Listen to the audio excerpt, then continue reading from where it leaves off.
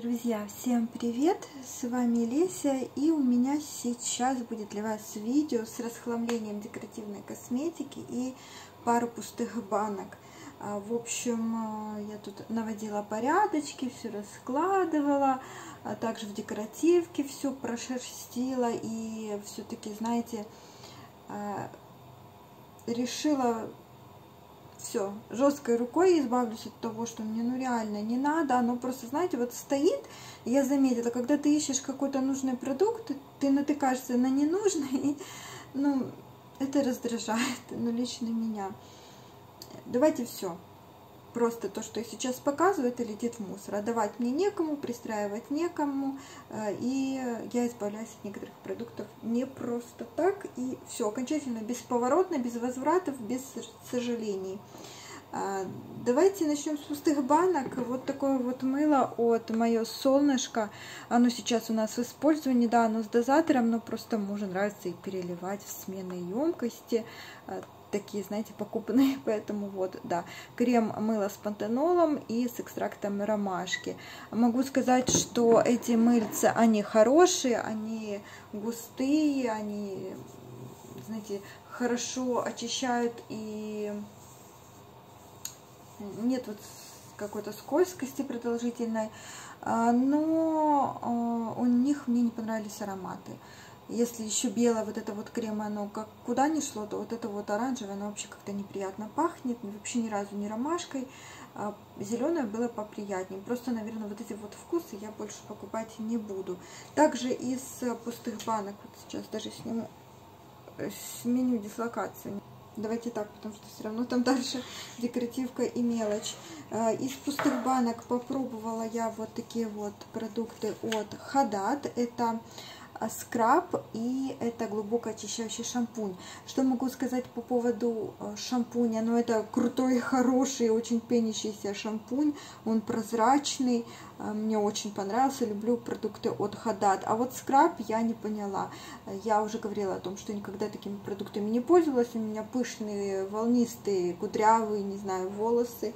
И э, я не знаю, вот как вот с этого пробником, мне кажется, если бы это было еще как-то с носиком каким-то, да, где ты можешь, э, ну, как бы добраться этим носиком до э, кожи головы, э, это одно, а здесь, ну, просто ты выдавливаешь на руку, я не знаю, как нам, ну, пробраться уже вот с этим скрабом, который у тебя на руке, как эм, ну, как выдавленное, да, что-то, к коже головы, потому что, ну, мне не те волосы, которые это могут спокойно позволить. Мне кажется, вся вот эта вот соль, весь этот скраб у меня просто на волосах остался, и до кожи головы я не пробралась. У меня еще есть два а, таких сашетика. Попробую еще какими-то техниками, но хорошо, что здесь соль, и она тает, иначе я, как и говорила ранее, если бы это было что-то а, не тающее, то и просто бы она у меня осталась в волосах. Ну, в общем, непонятный для меня продукт.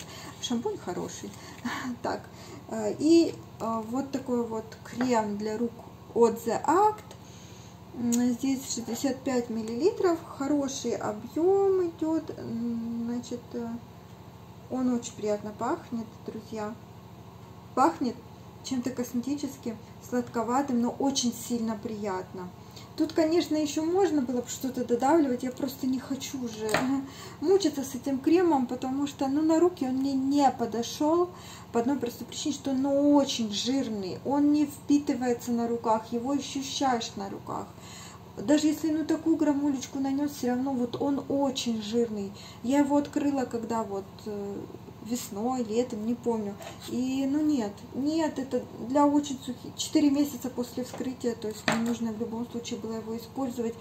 Ну, может быть, для зимы, если у вас прям, ну, мега-мега-мега сухая кожа, а так, ну, очень жирно, он не впитывается.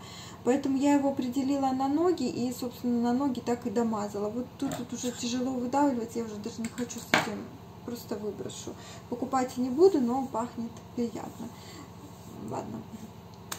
Теперь по декоративке. Я радуюсь тому, что расхламление декоративки у меня не такое часто, не так уж много, но оно бывает. От этого не застраховаться, потому что даже если вы сделаете сводчик где-то в магазине, мне кажется, вы придете, накрасите на лицо и может все поменяться. Давайте начнем с подводок. Подводки Рад очень красивые, очень яркие. И, наверное, с них мое расхламление началось, потому что я открыла подводку. Это у меня оттеночек, я ее, правда, болтыхала, болтала. Короче, не вижу оттенка лавандовая, короче, какая-то. Но сейчас, наверное, оно перемешалось, этого будет не видно. Она у меня стояла, я ее открываю, и она вся, а, то есть коричневая тут то есть окислилась. И сейчас, конечно, я ее болтала-болтала, и этого не видно, но когда я ее просто вот отстоявшуюся открыла, я ужаснулась, потому что частично был фиолетовый цвет, а частично он был какой-то коричневый, то есть она то ли расслоилась, то ли окислилась из-за того, что воздух здесь попадает. Я не хочу просто этим пользоваться, к сожалению, э, я ее переносила туда-сюда, и этого вот сейчас не видно, но когда я ее открыла, это было очень видно, и это было страшно, я даже не поняла, как такое может быть. И вот такая вот красивая. Знаете, что я вам хочу сказать? Вот подводки жидкая, это не мое. Ну, не получается у меня красиво нарисовать подводкой стрелку. Как бы, ну, как бы я не старалась, у меня не получается. Это и получается какая-то то ли размазня, то ли еще что-то. Да, не яркие, не красивые, но а, это абсолютно не мой формат, и я решила, что я их выброшу без сожаления. Больше просто подводки покупать не буду. Мой формат это гелевые карандаши. Все, вот я ими крашусь, у меня с ними проблем никаких нет. Все получается всегда идеально, круто и без всяких но, как говорит моя дочка, без всяких но. Поэтому да, ну меня удивило то, что они так как-то расслаиваются, и в такой прям цвет коричневый, прям такие коричневые волосы были. Я так и знала, что если я их перенесу туда-сюда, то это все смешается. Ну, будьте внимательны, вдруг вам тоже это неприятно. Также у меня от ресничка такой вот, эм, это на обзор мне присылали, фетровый, фетровая подводка. А, нет, тоже не хочу. Во-первых, я черными редко крашусь. Это когда у меня прям совсем такая беспроглядная депрессия, знаете. Ну, как депрессия. Я такой человек, как говорю, что депрессия не подвержена, но из-за моих болезней в последнее время у меня были такие темные макияжи, угрюмые, да. А, но я лучше карандашом накрашусь, мне это все равно удобнее, даже черным, если мне захочется, чем подводкой.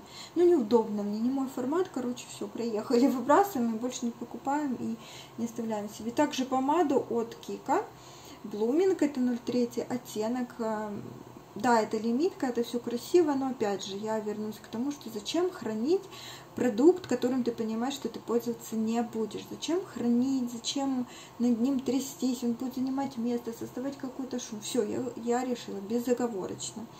А, я даже когда ее купила, я сразу вам сказала, после того, как я ее попробовала, что она плохого качества. Плохого качества в плане того, что она плешивая. То есть у меня есть помады Кика из разных серий, а, но они так себя не ведут. Это самая ужасная по качеству помада. И цвет у нее очень странный. Она прям очень-очень сильно светлая и очень-очень сильно яркая. И на губах она как будто бы оранжевая какая-то. Поэтому, ну, как бы я ей пользоваться не буду. Я пробовала несколько раз, но это смотрится ужасно. Поэтому просто выброшу. И все-таки давайте попрощаемся с хайлайтером Кика, 500, о, Кика Мина, 512 оттенок, этот а, просто очень-очень, и он не а, такой, просто оранжевый хайлайтер, такой бронзовый, телесный, он не доохромный, чтобы можно было как-то понять, что там вот если есть такие желто-розовые хайлайтеры, да, ты понимаешь, что будешь его как-то, ну, он будет как-то красиво сиять у тебя на лице или еще что-то. Здесь он, а, блин, он так красиво потом переливается. Я все пытаюсь его расхламить, а потом смотрю, какой он красивый, растушеванный, и оставляю. Короче, Кика, ой, Мина, э, твое время...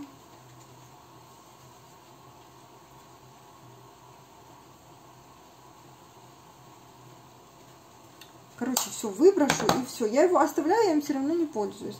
Мне кажется, что он красиво так растушевывается, э, но в итоге все равно это не моя тема. Все, все, будем безжалостны. Все выбросим, ни на потом, ни на когда, ни на подумать не оставляем безжалостно, оставляем те продукты, которые нравятся. Все. На этом все, друзья. Всем спасибо, всем пока.